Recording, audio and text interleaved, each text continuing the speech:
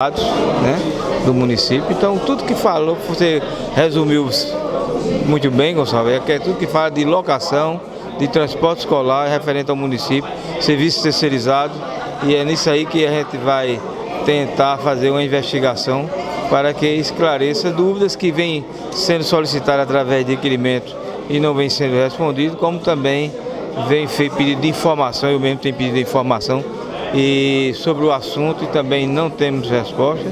Então solicitamos agora através da CPI, porque a gente percebe que através da CPI podemos investigar melhor, temos força maior para fazer esse trabalho e o Legislativo, se assim os vereadores entenderem, aprovar a CPI aí da, do transporte, vamos dizer o nome Você dela. chegou a citar até alunos e números de fantasminha, né?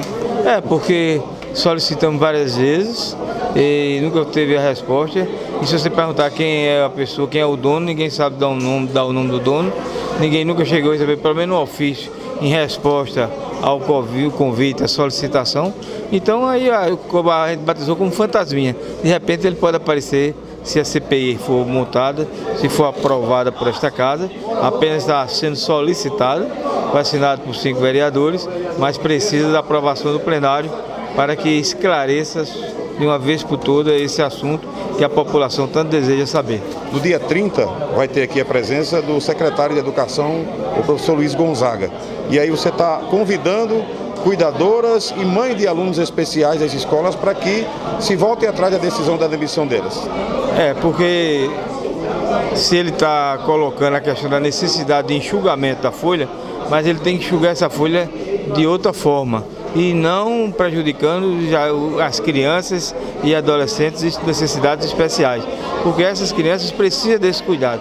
É, a, a lei federal já tem duas leis federais que protegem isso, dá esse direito a eles a ter é, nas escolas é, espaço para seus filhos os seus filhos que têm necessidades especiais, tanto crianças como adolescentes.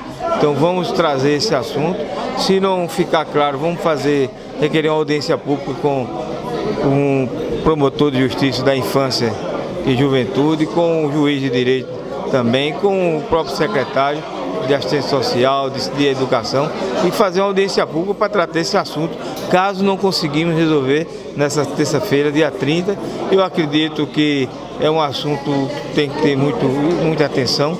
Eu vou acreditar que o secretário de Educação, junto com o prefeito, reveja essa situação e não prejudique essas crianças. Bom, já, tem, já sabe qual é o seu voto dentro do projeto? Não, vamos analisar, né? tem tempo, é oito dias, mas eu, não podemos prejudicar também a folha de pagamento do funcionário público.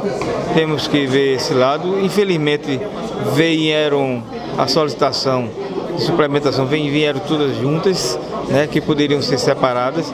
De cada assunto vinha suple- pedido de suplementação de um projeto separado, mas mandaram todos juntos, foi quase um mini orçamento, representa em torno de 15%, que o orçamento de 104 milhões, se você jogar isso em percentual, dá quase 14% aí, de uma só vez para ser suplementado. Mas temos que olhar, temos que observar, ah, o funcionário público não pode ser penalizado e a responsabilidade da gente, vamos no final, depois que analisar, mostrar o que veio para esta casa. Eu defendo a aprovação e depois de aprovado o prefeito tem a responsabilidade de não atrasar o salário, porque a Câmara vai estar dando o- é, as condições para que ele possa fazer o pagamento de outubro, novembro, é, dezembro e o décimo, com esse recurso que vai ser aprovado.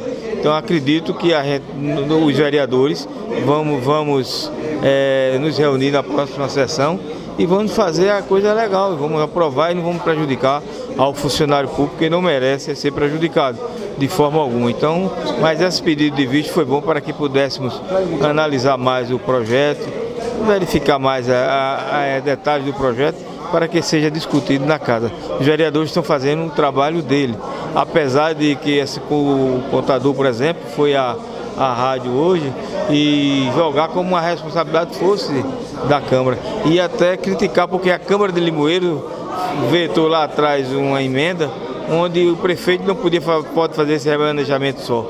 Todas as vezes que ele vai fazer esse remanejamento, tem que vir para a Câmara Municipal. Ele deu exemplo que Passira, João Alfredo, Bom Jardim não tem isso, é só Limoeiro. Graças a Deus que a gente está à frente né, no nosso trabalho, estamos, fizemos o trabalho de vetar realmente lá atrás para que pudesse acompanhar todas essas mudanças, mas aqui com responsabilidade vamos também fazer na hora certa e aprovar o que for necessário para que não seja prejudicado aos funcionários públicos do município de Limoeiro.